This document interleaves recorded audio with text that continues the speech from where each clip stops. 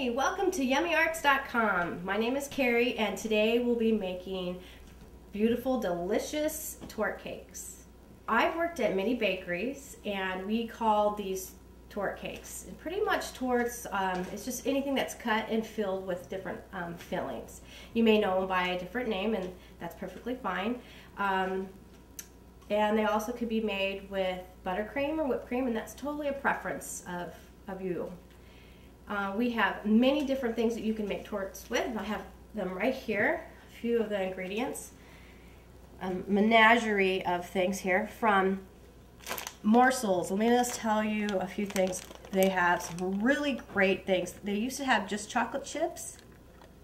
Now you can get little chips, chips that have mints, some that are filled with raspberries, some are dark chocolate, some are have peanut butter in them. There are millions of different flavors, and they really work great for these. We um, another thing to use is um, different nuts, candies, um, fresh fruits, um, canned fruits such as like this here is cherry pie filling on blueberry pie filling works really great. Um, crumbs, and I'll show you a little bit about that later. Just make sure, one of the things you'll need is maybe this little strainer. You can use a colander or whatever you like, but this works for little jobs. Like if you're gonna use cherries on a cake, you want to drain them, so that works.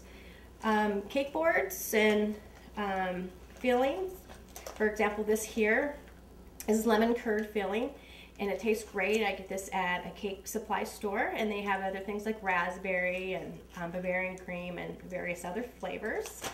And um, I have here the clear cake collars. Um, these are uh, great for um, writing on cakes. Now, torte cakes generally don't leave any room for um, writing like happy birthday. So you can take one of these, I'll show you really quick. They come in strips, also known as acetates.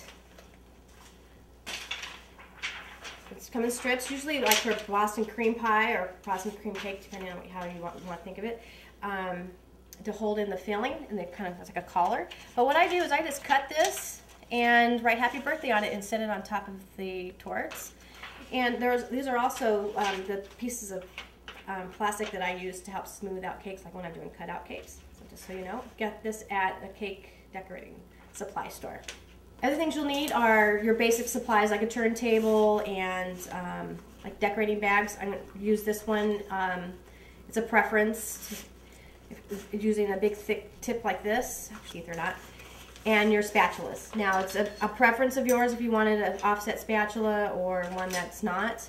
Um, also, I like a triangle and a plastic spatula. And um, I think that's pretty much it. Anything you can think of to put on there, it's totally up to you.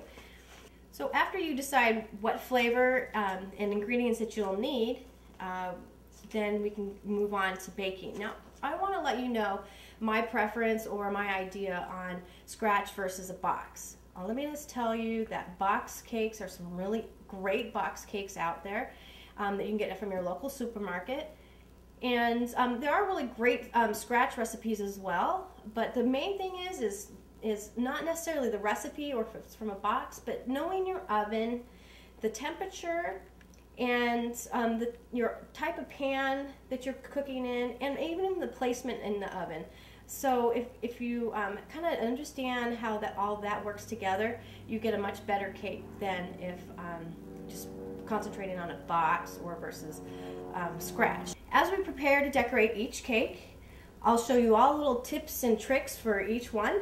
So let's get started.